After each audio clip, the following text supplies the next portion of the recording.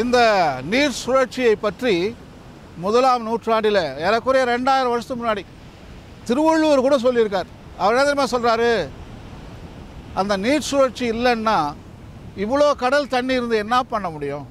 குடிக்க முடியுமா? உப்பு தண்ணி. எதுக்குமே யூஸ் கிடையாதே.